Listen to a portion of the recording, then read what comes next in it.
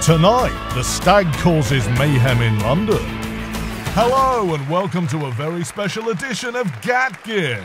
Introducing the Armchair Ageddon, the laziest, most devastating vehicle in the world. It's been stirring the trousers of Saints Row fans for months, and it's finally here, fully loaded and ready to take on. Delve deeper into the details, and it's so much more. What we have here is a chair with guns on. Massive, massive guns. Huge, in fact. Manufactured locally in the city of Steelport, these puppies will spin up in the blink of an eye and fire 74,879 rounds every second of the day, all day. The body itself has sexier curves than Kinzie Kensington's peachy bottom.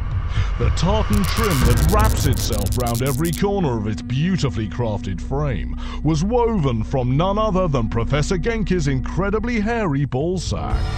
Now it's time to find out how fast this mental creation goes round our track. Of course, means handing it over to our tame racing driver. Some say he's a close personal friend of Satan, and that his body runs purely on Saints Flow energy drinks. All we know is, he's called the Stag. Welcome to the top secret Gat Gear test facility, situated just off the B1399 near Horton cum. Let's see what he can do round our 1.2 kilometer track. Off! All four wheels doing a great job of propelling him up to a top speed in a matter of seconds. He's really hammering it down the rectifier straight. It's up to the last corner now, and the stag keep it together. Onto the final stretch, flat out across the finish line. Welcome to London, a bustling, vibrant city with one major issue congestion. We've set Stag the task of putting Armchair Ageddon through its paces.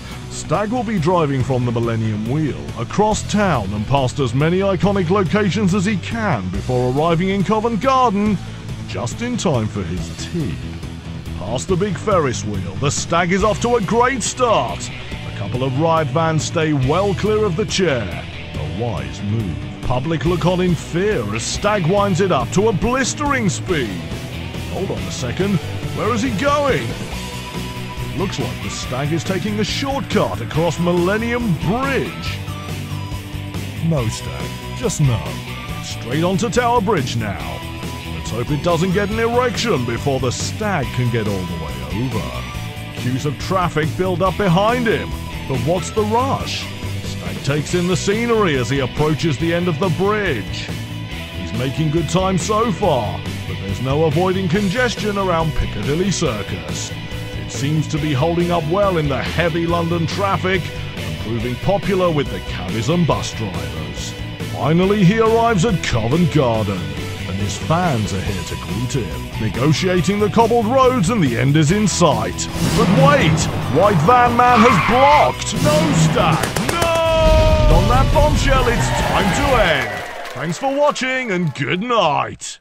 If you want to test drive Armchair Mageddon yourself, you can. Saints Row Gat Out of Hell standalone expansion is available on PC, Xbox 360, PS3, Xbox One, and PS4 from January. It's also available as part of a special double pack in Saints Row 4 Re-elected and Gat Out of Hell, exclusively on Xbox One and PS4.